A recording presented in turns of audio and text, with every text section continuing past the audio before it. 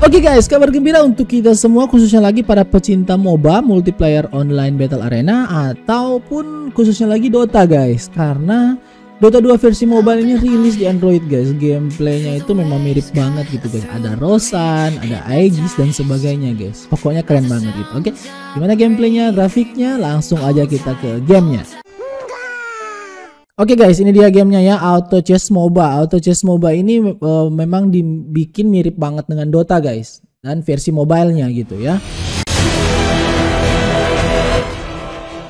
Kalau kalian tahu Auto Chess ini sempat bikin yang ini kan apa apa namanya game-game kayak chess gitu, kayak chess yang Dota 2 juga ya kan. Hero-heronya itu mirip banget. Ya, oke guys ya. Jadi ini mirip banget Dota guys. Dota 2 gitu ya. Walaupun mungkin bukan Dota 2 secara resmi yang rilis tapi ini mirip banget dengan Dota guys. Versi auto chess-nya saja kan mirip banget gitu dengan auto chess-nya Dota. Welcome to the Immortal Arena. I will be your conductor of the training. Oke. Ini berarti kalau di kayak Dota apa? Kayak Draw Ranger ya guys. Kayak Draw Ranger. Hero-heronya itu mirip banget juga guys. Ini juga ada Rosannya. Ada kemudian kalau kalian bunuh dapat Aegis juga kalau nggak salah ya. Grafisnya bagus menurut gua. Tap the ability. Oke. Ah?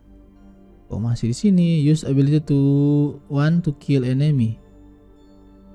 Eneminya udah mati, kenapa tutorialnya masih di sini, guys? Target quest. Ada apa ini?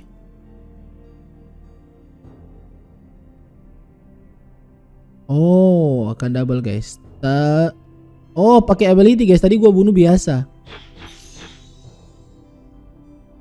Kill the enemy hero. Nah, ini hero. Nah, kalau ini yang muncul dia kayak X, guys, kalau di Dota, ya.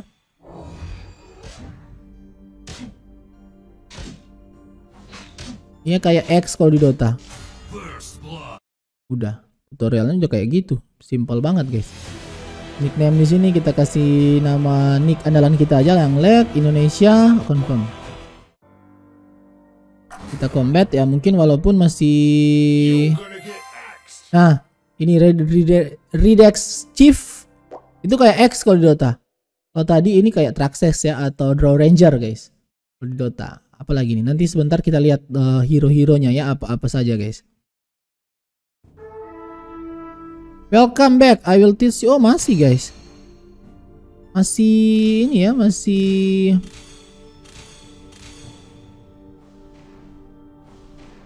Oke, ini ini bisa ngelock tower. Thunderblade. Cuman mereka tetap menyesuaikan dengan ini guys, dengan kebutuhan gitu ya, mobile gitu ya misalnya untuk pembeliannya mungkin ya pembeliannya itu bisa beli dari langit gitu guys ya.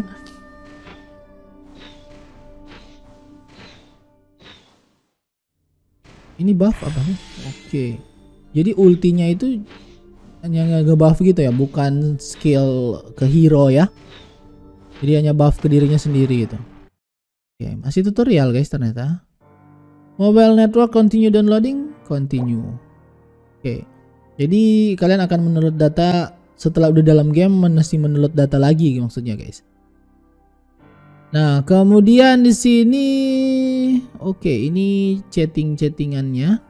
Kita mungkin lihat hero guys atau ranking. Ada yang ranking queen. Ranking queen ini apakah ranking sudah ranking paling atas?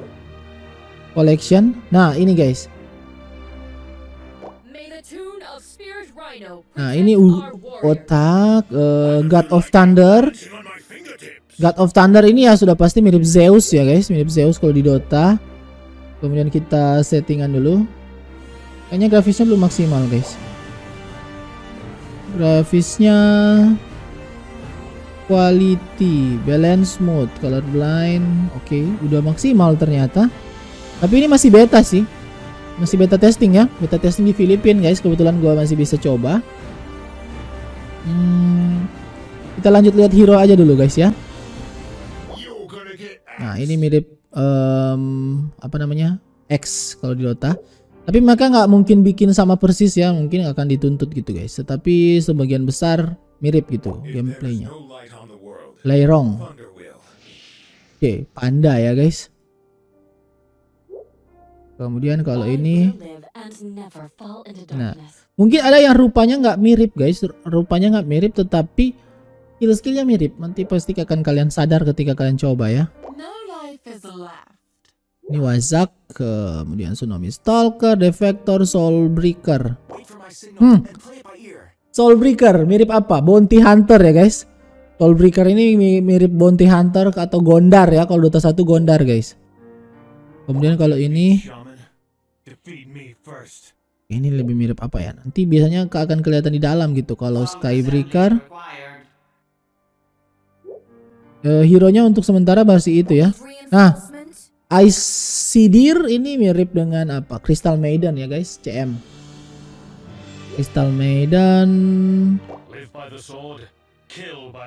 Uh, Swordman ini mirip dengan Juggernaut guys. Kemudian Dominator. Dominator ini Hah? Cardel guys. Sniper ya, mirip sniper kalau di Dota ini guys. Flame Wizard mirip Lina ya, mirip Lina. Mirip Lina, kemudian ini Doom. Doom Umbrider ini mirip Doom Bringer ya, mirip Doom Bringer. Oh, Tsunami Stalker ini mirip Leviathan guys, mirip Leviathan kalau di Dota.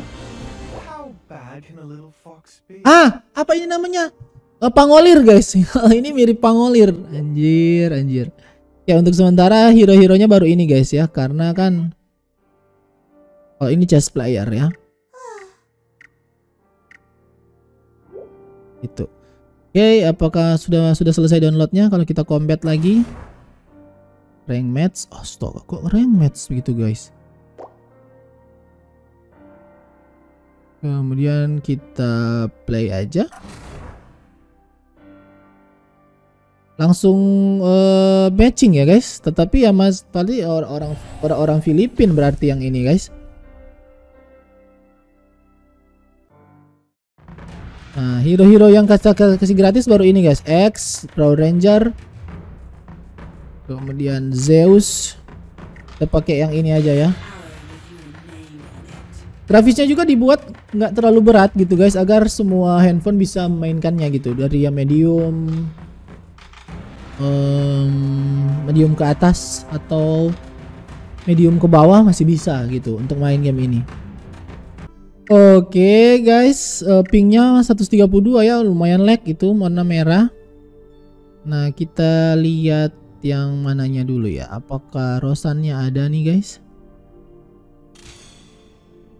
Ya ini ya masih pakai apa namanya?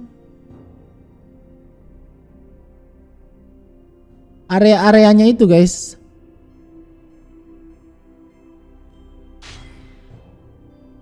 Oke. Ini ada observer juga berarti ya. Kalau ini memang mirip Dota ini ada observer kemudian di sini. Nah itu kan ada blind spot gitu apa namanya fog ini yang hitam-hitam itu kemudian ini bounty ya iya ada bounty juga ya mirip berarti ada rune juga seharusnya ini guys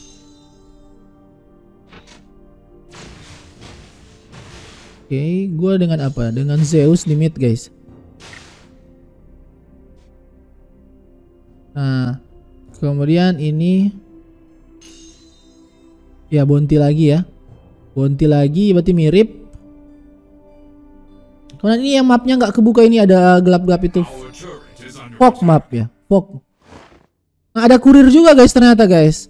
Ternyata walaupun kita beli dari langit, tetap nanti dia diantarin kurir guys bukan namanya ya bukan itemnya langsung ada gitu jadi tetap ada kurir yang akan mengantar jadi memang sebisa mungkin mereka bikin kayak Dota ya guys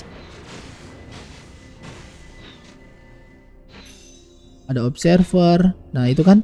Nah kita memang beli dari langit guys tapi kita harus kurirnya harus datang juga guys. Jadi itemnya nggak langsung ada di kita gitu.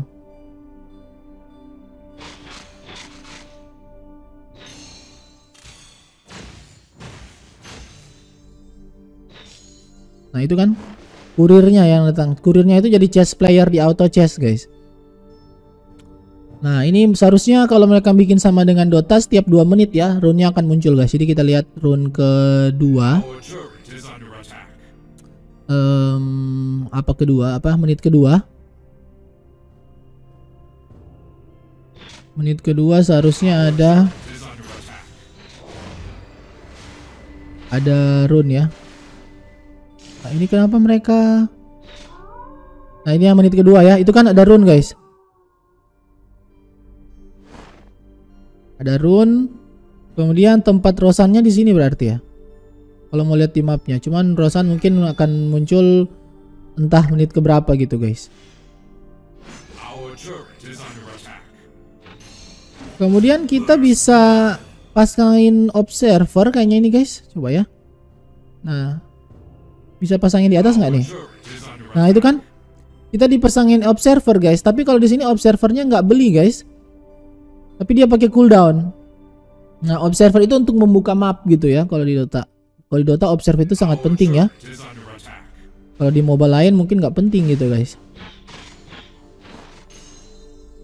Nah, di sini ada itu kan ada blind spot juga ya. Jadi kalian nggak gampang untuk membunuh gitu guys. Oke, tadi kuda gue udah dapat. Nah, itu kan jadi um, observer itu ada cooldownnya. Jadi kita nggak beli untungnya ya. Berarti kalau misalnya kita masih bisa pakai observer. Kalau di Dota kan ya observer itu ya dibeli oleh support ya. Kalau di competitive match, kalau di match biasa malah ada yang pilih yang pick support ya. Apalagi kalau masih rank-rank bawah guys. Oke ini sakit by the way ini. Wih wih wih wih Zeus Zeus kakek Zeus ampun lah. Nah, jadi memang ini keren banget sih guys menurut gua guys ya. Untuk gameplaynya gitu ya. Oke. Okay? Kira-kira gitu aja dulu untuk uh, videonya. Jika kalian suka silahkan like, komen di bawah. Kalau ada saran pertanyaan, request dan kritik. Akhir kata sampai jumpa di video selanjutnya. Bye bye.